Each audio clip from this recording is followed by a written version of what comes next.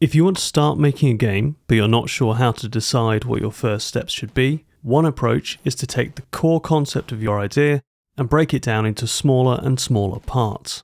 Think of the basic features that must exist to enable your core concept to work. These are high level systems, and there should be nothing between them and the core concept. So, for example, if the aim of your game is to collect points, a requirement of that objective might be a UI element that displays the score. But there's no reason for this to exist without the ability to score points in the first place, which is the high level system. This might seem like an oversimplification, but the point of this is to identify what comes first and what comes second. After which, you can keep splitting up your general system into specific tasks. This works by breaking up each large task into only slightly smaller parts. The trick is to avoid going too small too early, since each system should be fully represented by the smaller components beneath it.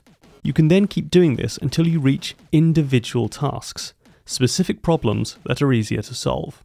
If you're struggling to find a way to turn a broad, vague objective into a to do list that you can actually work on, then this is one way to do it.